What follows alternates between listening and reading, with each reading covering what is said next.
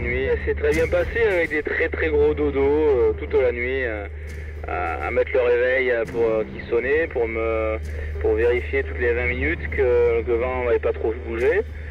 Et voilà, donc, sous spi, avec ce vent pas si fort que ça. Il faisait pas ni froid ni chaud, tout, à fait, tout à fait agréable. Bon, il a fallu faire quand même deux petits empannages, ils n'ont pas, ils pas été forcément profitables, mais, mais pour l'instant je tiens une place euh, honorable sans être euh, magnifique. Je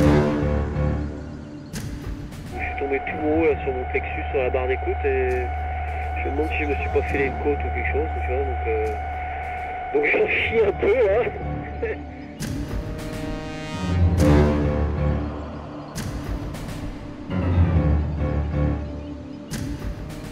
Je voyais un passage de, de dorsale euh, classique avec du soleil et que ben, on a ces nuages là euh, avec des petits grains, euh, enfin toute cette ligne de front là, qui vient se mêler à la météo et qui fait que le vent est un petit peu pas dans la bonne direction, qui change un petit peu toute la donne.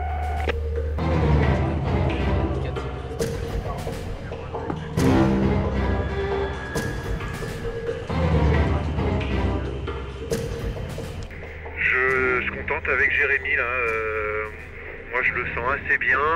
Il y a des nuages type alizé un peu partout euh, qui se déplacent euh, très très lentement. Et un plafond nuageux qui s'ouvre de temps en temps. Alors ça fait de jolies couleurs et tout ça, mais on n'y comprend pas grand chose. Et surtout euh, en dessous, dans le trois quarts avant, ce que j'essaye d'éviter, il y a un nuage, un énorme nuage, hyper hyper stationnaire parce que je le vois depuis au moins 2-3 heures. Et je suis en train de me demander si les autres sont pas en train de se coincer dessous ou un truc comme ça. C'est beau ce que je fais.